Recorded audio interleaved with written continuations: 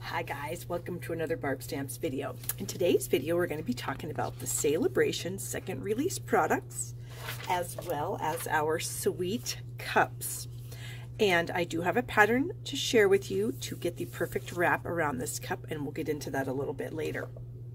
So Sale-A-Bration second release starts Friday, February 15th, and there are three items that you can earn for free in addition to the other items that we released January 3rd. We have the All Adorned stamp set, and while it was designed to be used with the Stamparatus, you certainly do not have to use it with the Stamparatus. It works great without the Stamparatus. We have the Country Floral Dynamic Textured Impressions Embossing Folder, and when it says dynamic, you're going to get a really super deep impression. And then we have the Painted Season Bundle. Now these two items are free with a $50 purchase in my store at shoppingwithbarb.com the Painted Season Bundle Stamp Set and Designer Series paper is free with a $100 purchase. So you can go to my blog at barbstamps.com, find my shopping link there, or you can go directly to shoppingwithbarb.com and get your products there. So here is the Painted Season stamp set. And this is the Painted Seasons Designer Series paper. There are four different patterns in the package, and there are three of each pattern. So we have the succulents, the cute mushroom pattern. We have the Christmassy, wintry pattern, and then we have these gorgeous flowers. And then when you turn them over, they're just very simple uh, patterns that can be used really with anything. And we do have coordinating colors for these items. And I made myself a little cheat sheet here. So I've got the name of the paper at the top, all the coordinating colors, and then I have everything on this uh, sheet of cardstock here. So I have all the patterns of the paper, both sides, the coordinating colors, pumpkin pie, call me clover, petal pink, lemon lime twist, early espresso, mango melody, grapefruit grove, crumb cake, Poppy Parade, and Pool Party. And so this will help me when I'm trying to design projects to use with this paper. All right, so then here is the stamp set the painted season stamp set and this is really cool. It's one of our distinctive uh, lines of stamps and so there is a great amount of detail that comes off these stamps um, when you actually press them to the paper. You get different opacities uh, just by inking them up um, in ink and stamping them on your paper you'll get some different opacities now I'm going to bring in the Four Seasons Framelits dies. This is a coordinating product for this stamp set. This is something you can purchase beginning March 1st. So the bundle, the paper, and the stamps you can earn for free, and then you can purchase the framelits as a coordinating product to your stamp set. And these are available, like I said, March 1st. And here are the dies. There are 10 dies in the set. And then they coordinate with the stamped images. So you can see, like I said, look at the detail on that flower and this succulent, the pine cone, and then the uh, pine boughs there. Just amazing, amazing detail. And so the dice, there's 10 of them, one for this flower, one for the succulent, two for this image here, one pine cone, two of this leaf image, and three of these small leaves. So it's going to be a great coordinating product for this bundle, and I'm super excited about it. All right, so here is the folder. You can see the dramatic detail um, and impression that that folder gives this piece of paper. So that is a free item for $50. All right, so here's a card that I created using um, the Designer Series paper and the die cuts and the stamps. Fun happy birthday card. And now I wanted to make a coordinating gift item for this. And so I'm going to be using our sweet treat cups to do that. And I do have one done here that is a Valentine that I made and I've just got it filled up with some chocolate, which isn't going to last very long. But uh, you may be wondering, how do you get the cups covered? How do you, where do you get a pattern? Well, let me just show you what I've done. I took a cup and I sacrificed it for you guys. I peeled this apart. I placed it on a piece of cardboard and made myself a template. Very simple, just like that. I then took the template to my scanner and I just created a template that you can print out on your own printer and make for yourself to go around these cups so you don't have to sacrifice one. So this will be on my blog. You can find the post for this pattern in the description box below this video. It will always be there and you can print it off anytime. Just make sure when you print it that you print it at full size Um, and I'm not a printer guru, so if you have issues printing it, I, I won't be able to help you, but um, just make sure you print it at full size. Okay, so I took my template, placed it on my designer series paper. Actually, I did it on the back side so that I wouldn't have any pencil lines. So I placed it on here, I drew around it with a pencil, and then I fussy cut it out with some scissors. And now I did cut inside the pencil lines rather than outside. I found that cutting inside the pencil line um, gives you a better fit around the cup. So then what you're going to want to do is you're going to want to take a bone folder and you're going to want to kind of curl this piece just a little bit just to kind of get it started so it wants to wrap around your cup. Okay. And then I always do a test just to make sure that it fits. And I do like to shove it up underneath this little lip that is on the cup. I find that I get really good placement that way. And then you just want to bring it around and make sure that it's going to fit. You don't want to have any excess hanging around the bottom of the cup. And if you do, you can just trim that off with a pair of scissors. So that looks like a perfect fit. So then all you have to do is just add some glue to your cup.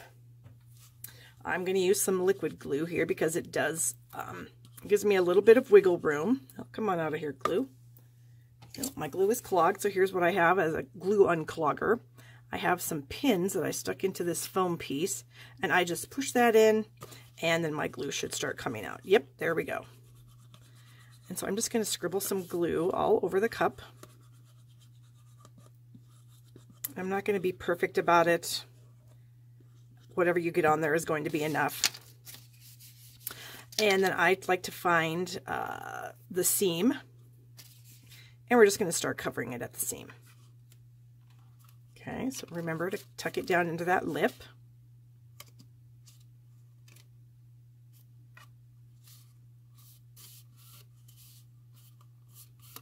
Just roll it all the way around the whole thing.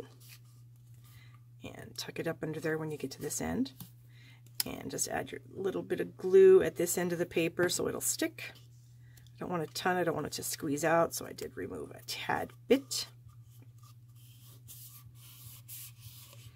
and then you'll have a nice, nice fit there. Okay, and then we'll, easy enough. And now we need to do some decorating of our cup. So we're going to decorate the lid. And so I've gone ahead and taken the largest scallop circle from our circle, layering circles framelits and the largest plain circle from the layering circles framelits. And we're going to just attach these two pieces together. And this is Lemon Lime Twist. And then this is the back side of the kind of Christmassy pattern. And this particular paper that I'm using, uh, Lemon Lime Twist and Pool Party are definitely two of the colors in it. There is also a pinkish kind of color. And I kind of feel like that's like a Melon Mambo, maybe stamped off one time. So uh, could be, maybe not. So that is the, that as perfect of a fit as we're going to get with the dies that we have. So we can close up the little cup there. And then I'm going to have the seam for my cup lid go back here in the seam where the paper is. Way I don't have any. So the front looks really nice. So now we're going to do some stamping. So I'm going to bring in the Painted Season stamp set. Oh, whoops, I already took it out. It's already on a block. Silly me. There we go. We're also going to use the Itty Bitty Birthday set. I did use that on the greeting card, and on this one we're going to use the It's Sure to Be a Fun Day sentiment. So here's that. I have my Pool Party ink and my Lemon Lime Twist. White scraps. Okay, so I'm going to go ahead and give myself a Lemon Lime Twist flower, or succulent, I guess. That looks good. Now I'm going to bring that in and clean that off with my Stampin' Chamois because I don't need the Lemon Lime Twist anymore. And my chamois looks horrible. I'm, I do see that and I apologize. It's not dirty, it's just stained. And that's the nature of this product and it's amazing and it works great even if it is stained. Okay, so the next one we're going to do is we're going to ink it up in the pool party. Okay, and then I'm going to take my, I just re-inked my pad so it's a little bit much. So I'm actually going to use my sponge dauber to go ahead and add some ink to that. And then I'm going to take my lemon lime twist and I'm just going to kind of add a little bit of ink. Give it a huff on. And then we're going to stamp that and then you can kind of see I have a little bit of lemon lime twist around on that, which I think looks kind of cool. So we're going to clean this off again. All right. We're going to ink it up one more time in the pool party. Again, using my sponge dauber to kind of clean up some of that ink because I just re-inked my pad. And then this time we're going to kind of maybe add a little bit more of the green. Huff on it again. Stamp it down. And there we have it. And so you can see we have a little bit more of the green in there this time. So then we're going to take our sentiment, and I need another scrap of white. This little piece here will work great.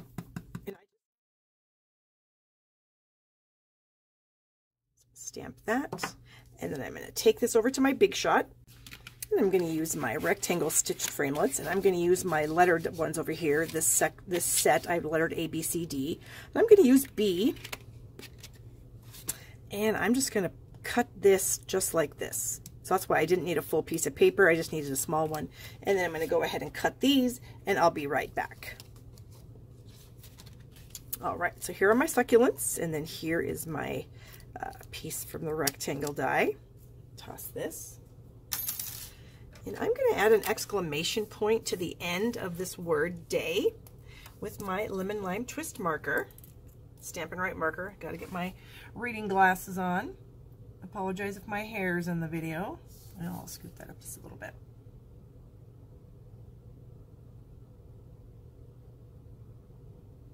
There we go. Also going to bring in a scrap of lemon lime twist and my decorative ribbon border punch. And I'm just going to slide that in and give myself a little border piece here. And I'm going to add this underneath my sentiment piece. Just because I have the scallops on the cup, I thought if I had some scallops on my sentiment, that might look pretty cool. Okay. Get that lined up on there. That looks pretty good. Bring in a pair of scissors. We don't need all of that because we're going to tuck that under the succulents. Get these bits out of the way. I'm done with my ink pads. Now I'm going to bring in some of my glitter enamel dots. I have some here that I haven't taken off the backing papers just yet. And I thought that I would add those to the center of these flowers. Uh, succulents, I keep calling them flowers. So we're going to go with the lemon, or with the granny apple green in the center of that one. And these coastal cabanas are pretty darn close to pool parties, so they're going to look great. Nothing bad having a little bit of bling on something. Okay, so this little piece here, we're going to attach to the top of the cup. Try to get that centered. Actually, I'm going to take it off the cup so that I can press down with my hands here to get that lined up. All right. And then these little goodies here. How do I want to do this? Maybe that. That underneath. This. And I'm going to tuck this underneath that. But I think I'm going to pop some of these up. So I'm going to pop up this one for sure. And I'm running out of dimensionals here. We'll just snip these ends. Of course, never throw your dimensional ends away. Okay. So if our sentiment is here, I don't have any fingernails, so picking that up is a struggle. Okay. So then I could maybe put that like that. Could maybe tuck that one under and this one under over here. So we'll do that. Add some glue.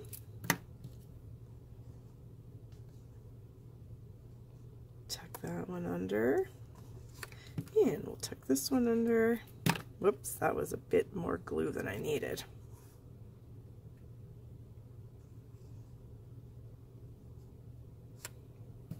Snip a little bit of that off because I don't need that.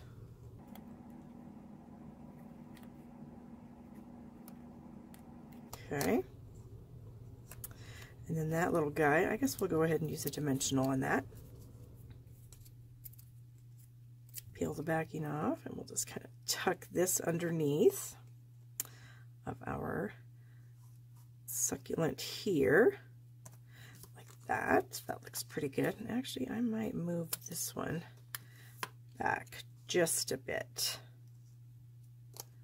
like that. Okay, so the lid is almost done. I was going to take some of my Pool Party Shimmer Ribbon and I'm going to wrap it around the cup just like this. So I'm going to grab some tear tape adhesive.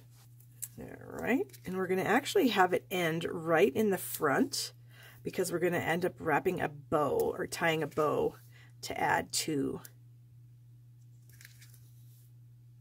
the cup lid. Okay. Press that down all the way around, peel it up.